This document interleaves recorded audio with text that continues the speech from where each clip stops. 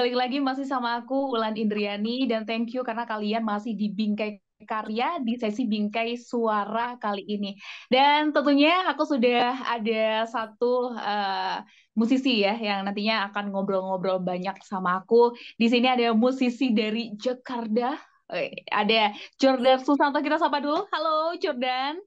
Halo semuanya, halo Kaulan. Gimana kabarnya? Baik-baik aja ya sibuk sibuk aja sih uh, tapi ya uh, kesibukan yang menyenangkan untungnya. Oke oke ini lagi di mana ini Jordan? Di rumah aja dari lagi di dari rumah, rumah aja. Oke berarti posisi di Jakarta ini ya? Di Jakarta betul. Hmm, gimana Jakarta rame Mas udah mulai ramai lagi atau gimana nih?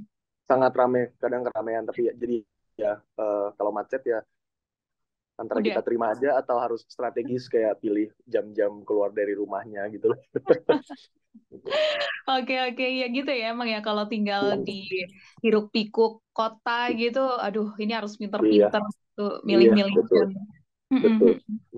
Oke, ya Jordan, aku mau ngucapin dulu congratulations ya buat Still Drunk. Yay. Terima kasih, ya, terima kasih. Ya, tapi kalau masalah rilis-rilis ini kan sebenarnya bukan hal utama, uh, hal pertama gitu ya kalau buat Jordan.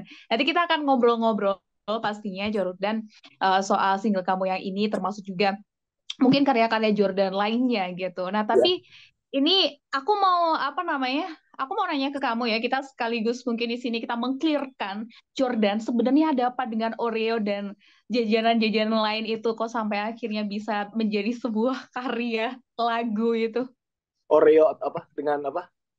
Yang mana? Jajanan Oreo, yang mana? Oreo, jajanan Oreo sama Reese's itu loh. Ingat nggak? Masa aku yang inget sih?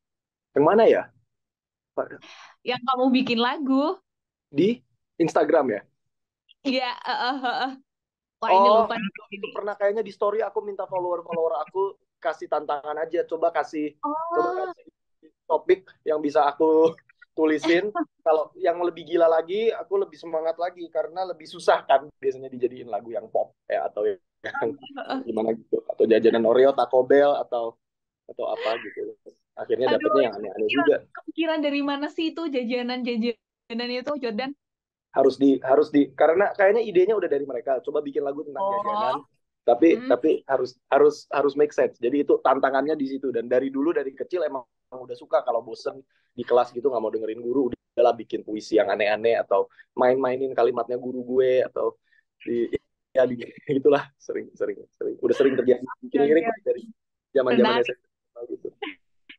Ternyata Jordan ini juga lumayan random berarti Jordan ya kamu ya?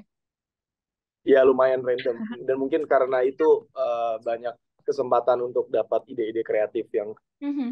uh, yang nggak selalu bisa dicerna orang tapi untungnya kalau bikin lagu uh, pop udah udah masih masih oke okay lah tapi kamu kalau biasanya uh, apa namanya nulis lirik gitu bikin lagu gitu biasanya lebih terinspirasi sama kamu sendiri atau dari orang-orang gitu sih Jordan kadang uh, Uh, mungkin dari perasaan sendiri ya. Nggak ada nggak sampai ke cerita yang spesifik kayak nggak ada alur cerita yang logis gitu loh. Kadang lebih ke perasaan kan abstrak kan rasanya. Jadi kadang coba menggambarkan perasaan itu uh, dengan musik. Dan kadang kata-katanya tuh nggak lengkap. Makanya mungkin uh, kadang kalau nulis lirik banyak juga lagu-lagu yang kita suka lirik nggak terlalu masuk akal tapi ada sesuatunya ya secara abstrak yang kita bisa pahamin gitu.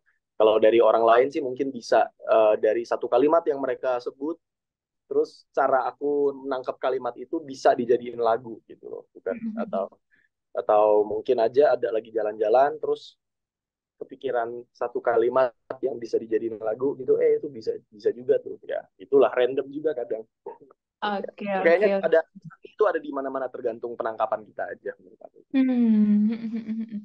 itu ya jadi Iya benar setuju juga ya karena beberapa musisi lainnya juga pernah uh, ngobrol gitu ngomong kalau ternyata bikin karya itu juga inspirasinya itu uh, dari mana pun gitu termasuk mungkin dari hal kecil yang kita kerjakan pun itu bisa sebenarnya menghasilkan iya, karya. Iya. Gitu.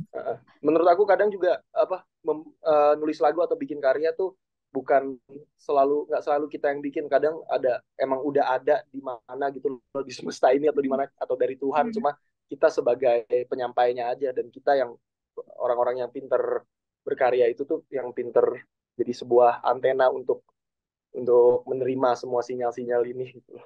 Hmm, hmm, benar-benar setuju setuju. Nah, uh, eh, LYI juga uh, buat listener ya, kalau Jordan ini sebenarnya banyak banget yang dilakuin nih ya selain nyanyi termasuk nulis lagu, komposer, produser, bla bla bla. Nanti kita akan bahas. Tapi di sini aku mau nanya lagi nih, ini kayaknya Jordan uh, emang suka baca buku atau gimana? Buku The Albert Girl, Zanperian udah selesai belum? Udah, udah selesai, udah uh. selesai. Itu tahu dari mana ya? Dari Instagram juga ya? dari mana ya Jordan? Coba deh kamu tebak aku tahu dari mana. Wah udah lupa nih. Apa WhatsApp aku di WhatsApp aku di, atau dari Kak Vini dari dari manajer aku. Tapi emang kamu ini ya suka suka baca buku gitu ya atau gimana? Kadang kadang kalau udah terpaku sama satu buku ya sampai habis tapi lama gitu loh. Karena buku tuh kayak komitmen gitu kan untuk bisa hmm.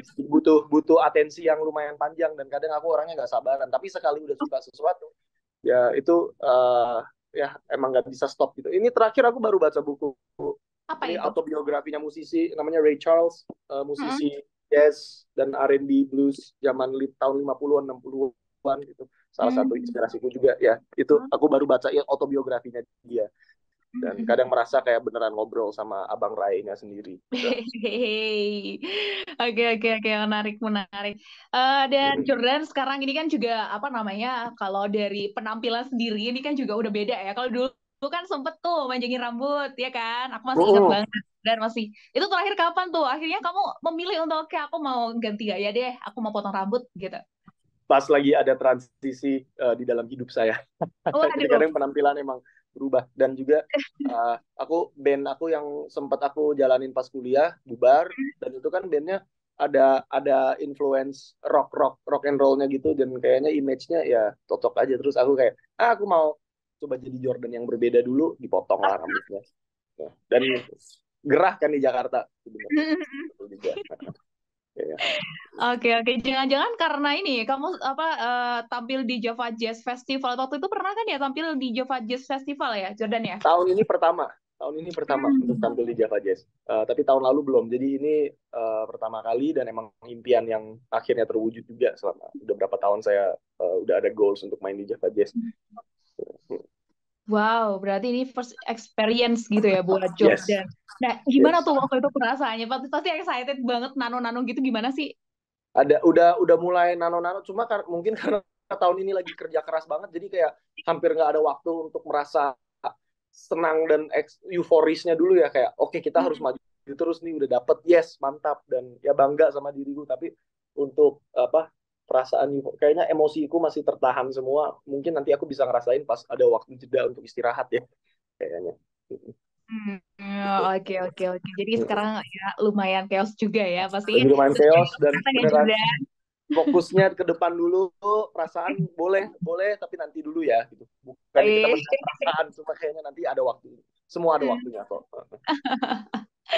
Oke, nah ini kalau ngomongin soal karir ya, karena sekarang kan uh, kamu juga udah di industri musik gitu ya. Kamu ngawalin karir itu kan tahun 2015 di London ya, kalau nggak salah. 2018 pertama kali. 2018. Gimana tuh ceritanya tuh waktu itu Jordan? Itu ngeband sih ketemu-ketemu dari venue musik, acara musik eh, cari-cari drummer karena udah ada basis. Basisnya orang Bandung. Nyari-nyari hmm terus nyari-nyari studio belum tahu apa pun ke, ke jam session open mic uh, nyari-nyari terus bikin lagu rencananya berkarir di sana berharap ya. ada apa ada kesempatan berkarya dapat liputan media atau apa dan bisa dapat visa untuk kerja di sana gitu loh cuma kayaknya sih nggak se apa nggak uh, kesampaian bandnya juga mhm. mungkin uh, belum siap untuk dijalanin sekomit itu. Tapi ya karya-karyanya sih tetap aku banggakan ya. Dan itu uh, karya pertama saya tuh direkam full band secara live. Semuanya main barengan. One take mhm. nggak ada edit. Berarti gaya old school banget lah untuk menghematkan hemat duit juga sih. Tapi ya dan aku nulis nulis lagunya arrangement bareng band. Terus ada satu lagi 2019 dirilis uh, sama 2020 juga. Tapi habis itu ya setelah itu pulang ke Jakarta uh, memutuskan untuk melanjutkan karya solo gitu. Hmm, oke okay, oke okay. itu ya itu adalah uh, bagian dari perjalanan gitu Jordan ya karena kalau kamu nggak di titik itu mungkin kamu nggak sampai sekarang gitu loh. Nggak mungkin, ya ya. Banyak banyak juga pelajaran dan kesalahan yang saya buat ketika ngegarap lagu-lagu uh, itu yang emang dibutuhkan untuk uh, bisa mateng untuk uh, bisa berkarya solo gitu dan ke depannya pasti ada lagi kesalahan di, di uh, uh, cara saya menggarap karya sekarang atau kekurangan lah bukan kesalahan yang bisa lebih lebih oke okay, lain kali gitu. Dan secara mental lebih siap untuk menggarap lagu gitu. Karena okay. bikin karya tuh bisa ya kadang ego kita ada ini ada ekspektasi itu jadi harus harus kuat juga secara emosional dan mental untuk bisa terima kekurangan kita sendiri atau kelebihannya juga benar nah ini juga tahap mengenal diri gitu ya sambil yeah, beriringan betul sangat, sangat Oke, okay. nah Jordan, tapi kalau ngomongin soal uh, karir kamu di musik, kamu itu sebenarnya kenal musik itu sejak kapan sih? Yang benar-benar aku, oh, aku kenal musik nih gitu. Kayaknya mulai sih umur 12-an SMP pas udah ah. non-stop, nggak bisa stop dengerin lagu, karena dulu keluarga aku kalau weekend suka karaoke. Terus mereka nyanyi-nyanyi lagu, terus aku kenal banyak lagu dari situ kan. Dan karaoke-nya serius juga, bukan karaoke karena semuanya bisa nyanyi gitu. Tapi main alat musik nggak ada yang bisa. Nah, oh. tapi pulang-pulang aku dulu masih zaman punya iPod klasik ini masih ada nggak ya iPodnya? Ini iPod ini nih, eh, udah udah nggak nyala lagi ini iPod klasik ini OTW bulak balik sekolah aku pokoknya kerjanya dengerin aja terus sampai nah di umur itu aku mulai kenal musik dan mulai sadar bahwa oh ini uh, setiap uh, alat musik ada ada perannya vokalis ada perannya dan jadinya mau ngeband. Jadi lebih tahu oh kalau ngeband berarti harus mendelegasikan instrumen ini main ini ini ini, ini gitu. Dan dari situ udah mulai ngelihat musik dari garis besar lah secara uh, penata musik dan arranger dan juga sebagai penyanyi gitu. Jadi hmm. uh, umur 12 terus abis itu memperkembang skill sampai kayaknya mulai main di depan orang uh, itu zaman-zaman kuliah. Main di depan orang di in, di publik ya tempat publik kalau dulu kan tampil di sekolahan doang yeah. gitu. kalau main ya berarti umur 19-an lah main di bar-bar di London gitu sambil sambil kuliah gitu. keren-keren berarti ini emang udah dari apa namanya circle-nya sendiri ini udah uh, suka musik termasuk mungkin kamu dicekoki gitu ya secara nggak langsung ya kamu kayak iya, iya, iya.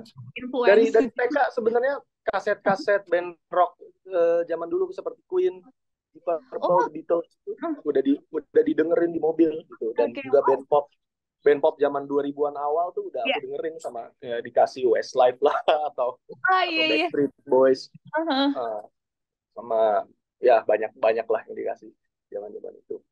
Oke oke oke, ya itu ya uh, kalau dari Jordan sendiri. Nah tadi kan aku juga sempat ngomong nih uh, buat listener ya kalau Jordan ini kan sebenarnya selain juga nyanyi, itu nulis lagu iya, komposer, produser bahkan juga punya PH sendiri gitu ya Jordan ya.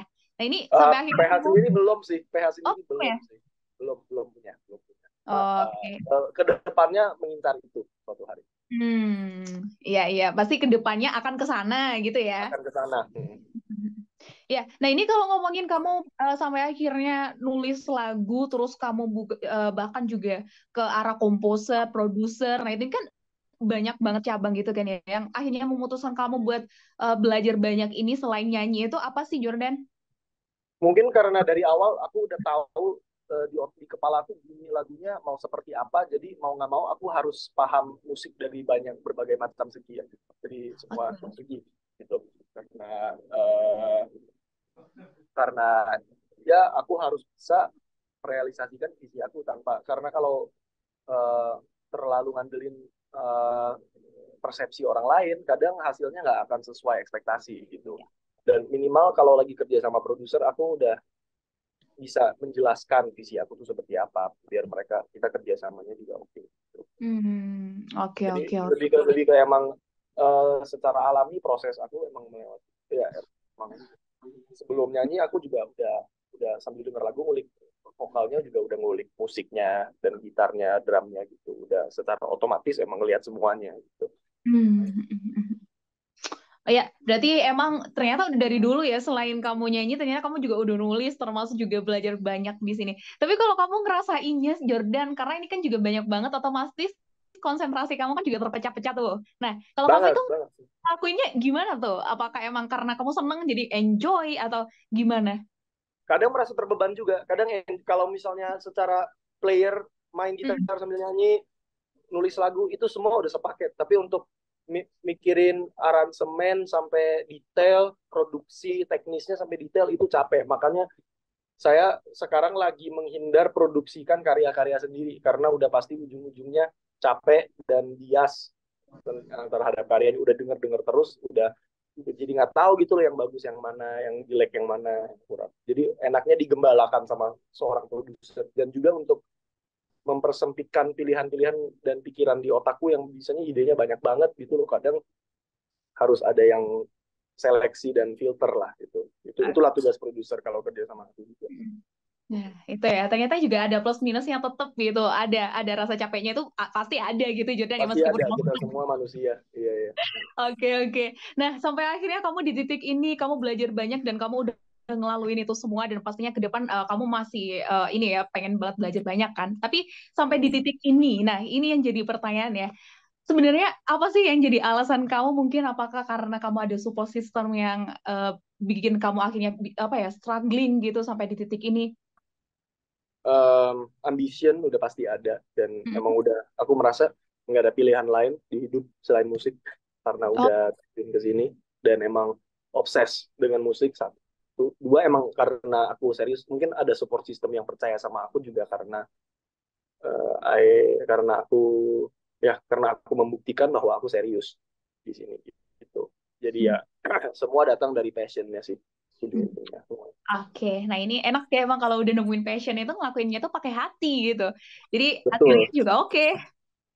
Dan kadang kalau dilakuin dengan hati, kalau kita cinta akan sesuatu, nggak semuanya tuh bikin kita senang gitu loh kadang kita harus ya ya sama kayak orang atau ya itulah kita harus lewatin yang pahit-pahitnya juga gitu hmm, oke okay.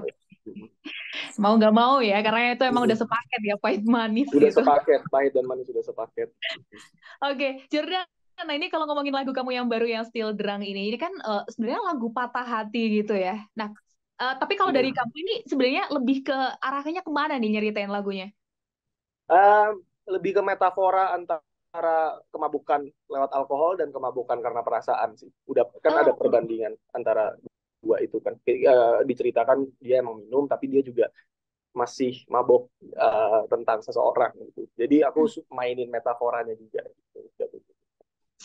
Oke, nah ini kan berarti uh, kalau aku sendiri aku yang juga uh, sebagai pendengar listener kamu ada orang yang lagi patah hati terus dia itu pelampiasannya dengan minum-minum gitu kan ya. Sedangkan uh. seorang pasti ada di titik dia pasti nggak pernah ngerasain patah hati. Nah ini apakah based on your experience Jordan? Maybe not one experience tapi a few experiences. Jadi general uh, kompilasi atau akumulasi dari beberapa perasaan gitu.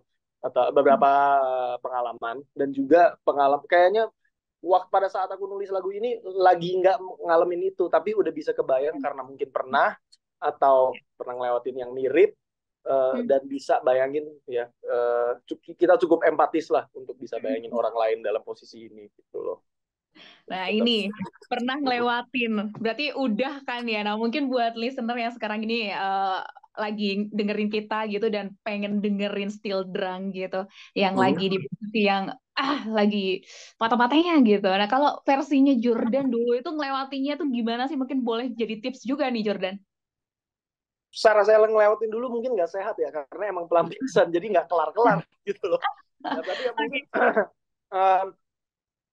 uh, kalau sekarang sih uh, the best way untuk uh, move on dari sesuatu itu terima aja bahwa kita tuh sedih dan patah hati daripada kita coba menghindar perasaan itu menurut aku sih ya. Paling paling ya, cara yang paling ampuh tuh itu. Dan kadang kita dari awal sedih itu tuh udah pikirin gimana caranya gue move on gimana caranya aku uh, lari dari perasaan ini gimana cara perasaan ini bisa hilang aja dan perasaan itu nggak akan hilang. Itu kayaknya hmm. titik di mana kita harus uh, di mana kita mulai uh, journey kita untuk pulih itu dari sakit itu tuh ya kita harus terima bahwa emang kita sedih kita kehilangan orang titik gitu. Loh itu mungkin titik utamanya. Hmm. Wah, ya udah minum boleh lah sekali-kali kita butuh gitu loh. Teman-teman kita gitu.